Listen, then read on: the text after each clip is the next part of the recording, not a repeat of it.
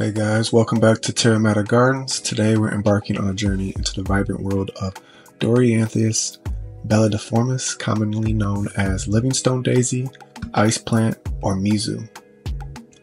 Originating from South Africa, mezoo is a succulent ground cover that has captivated gardeners worldwide. Its history is intertwined with arid landscapes, where its resilient nature allows it to thrive in challenging conditions. Mezoo is a low-growing succulent with fleshy, finger-like leaves that glisten with a unique iridescence. The daisy-like flowers in shades of pink, orange, yellow, or white open during the day and close at night or in cloudy conditions. This adaptation helps conserve moisture and protects the plant from harsh environmental conditions. Thriving in full sunlight, Mezoo is well suited for an arid and coastal gardens this hardy succulent prefers well-draining soil and is drought tolerant once established.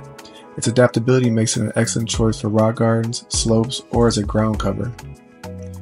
Mezoo adds a burst of color to garden spaces and complements other drought-resistant plants.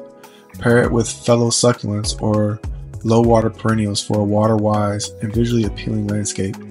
Its spreading habit makes it suitable for filling in gaps between larger plants.